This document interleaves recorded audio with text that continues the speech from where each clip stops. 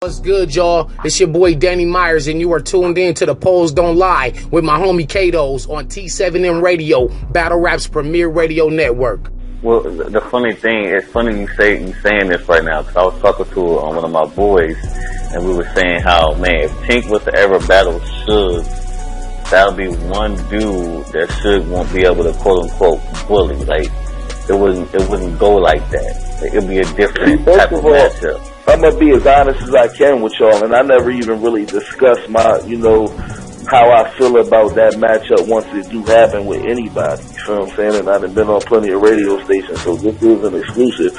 And it's like, you know, me and Suge probably couldn't even go down without signing a contract about no putting no hands on nobody because it will be a fight on that stage. You feel what I'm saying? Without a doubt, it, it will it will hurt the culture more than it will help it.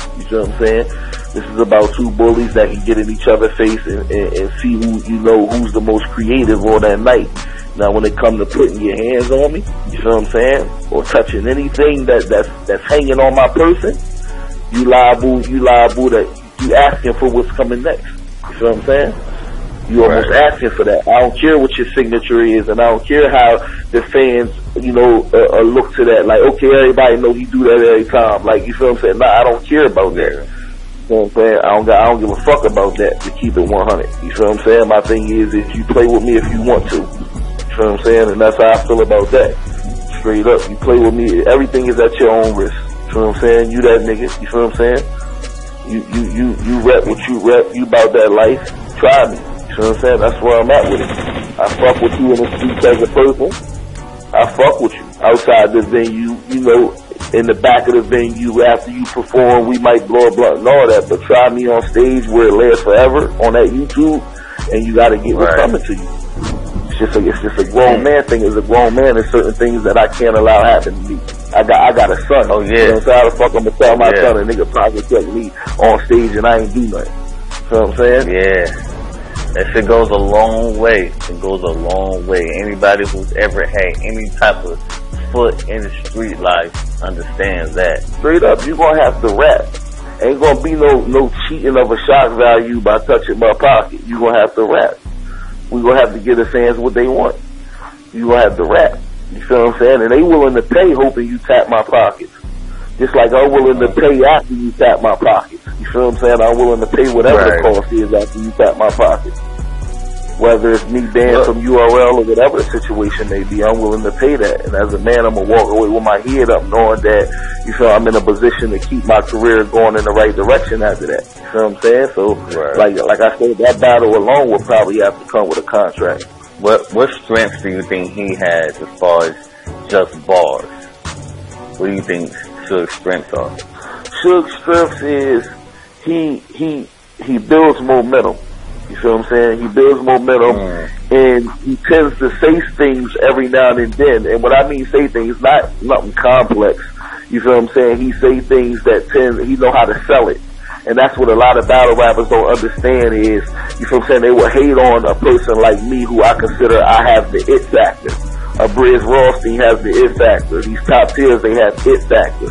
So you, people know, you know, who has the it factor and who don't. But I feel like, you know, what differentiates us is that we know how to sell our material. You feel what I'm saying? People Mm. can write the hottest shit in the world down on paper, but if it don't come across, if they're not projecting it right, they're gonna c- c- continue to say shit like "Wake up, y'all catch it on camera, wake up" and shit like that.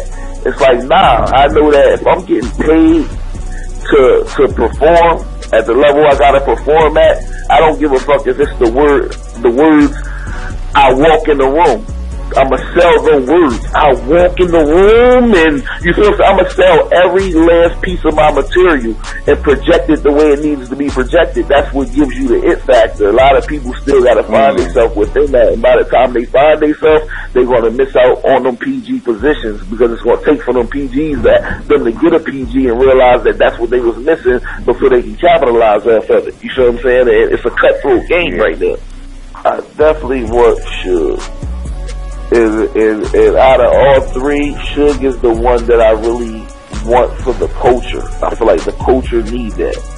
Personally, I don't really, I, I, I can care less. I know he's not better than me. You feel what I'm saying? So, and I know I'm gonna be everything he was meant to be. You feel what I'm saying? So, uh, that's something I want to do for the culture. Again, bro, thank you very much for coming on, man. T7 Radio, appreciate it, man. Anything you want to give the people before we get up out of here? Um, anytime, man. Like I said, Hunger Games, man. Look out for the, the new addition to the Hunger Games, man. Cash Only, Treo Deuce, Stewie P. Newton from from the West Coast, Washington. Battle rap, you know, West Battle Rap. Salute to Dre Vicious from Crack City. You know, that the new additions, the original members, me, none, none. He, he performed like a motherfucker born legacy too. I feel like he walked away with a clear two one possible three zero. Um, you know, automatic. You know, just just it's about building the brand this year, man, and giving the, the fans, you know, their money worth this year because battle rap starting to get expensive. Y'all heard him, man. Tink the Demon has some has some choice words for my man Shotgun Suge. Has some. He's definitely ready for anybody to step in that ring. And you know, I don't, I don't know, man. He sounds very focused, y'all. So I don't know what to tell y'all. Shotgun Suge, Big T, Slave Sever. Hell, man, he he he has some names out there, man. So we gonna see, man. But you know, it's your boy K Doz, T7M Radio, the Polls Don't Lie. I'm about to sign off of here. Hey, man, I want to thank y'all for tuning in. We will be right back on Thursday. I will let y'all know who the guest is via Facebook and Twitter. So follow me on Twitter at K underscore D-O-Z. That's K underscore D-O-Z. Subscribe to my YouTube channel, K Doz Media. I got a lot of content coming this week for y'all. Shout out to my man Seven Mitchell. Shout out to the War Report. They actually coming on right after me, so y'all get ready for that. Again, shout out to Postal.com. This is powered by Postal.com. I have a brand new poll that'll be dropping tomorrow, so I really want y'all to check that out. And if you're on Facebook, you can uh, request me at um, K Doz King Akeem on Facebook as well. You can go ahead and uh, I'm on K, K underscore DOZ on every social media outlet. So holla at your boy. You already know what it is. It's your boy K Doz. We out.